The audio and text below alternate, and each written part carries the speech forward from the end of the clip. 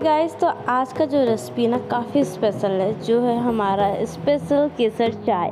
तो जिसे बनाने के लिए आप सबसे पहले लो दूध। दूध को हमें यहाँ उबालना है।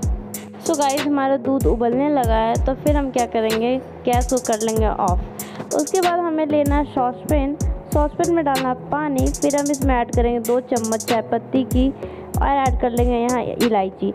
आप चाहो तो अदरक भी डाल सकते हो, मैं यहाँ स्किप कर हूँ। फिर आप डालो केसर, जो कि काफ़ी इंपॉर्टेंट है यहाँ पे।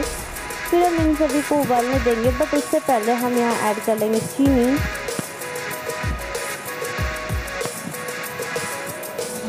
अब इसको दो मिनट के लिए हम ऐसे ही उबलने छोड़ देंगे।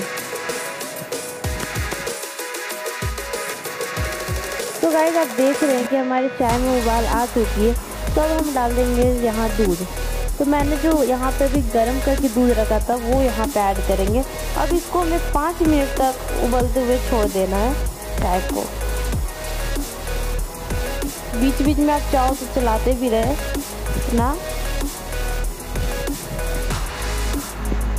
पाँच मिनट हो गया और हमारा चाय बिल्कुल बनकर तैयार है। अब हम क्या करेंगे, अपना ग्लास लेंगे या फिर आप कप ले लो, जो भी आपको लेना आप चाय को हम छानेंगे। और बस, अब इसको करना, मैं ऊपर केसर से डेकोरेट हमारा केसर चाय बनकर तैयार है।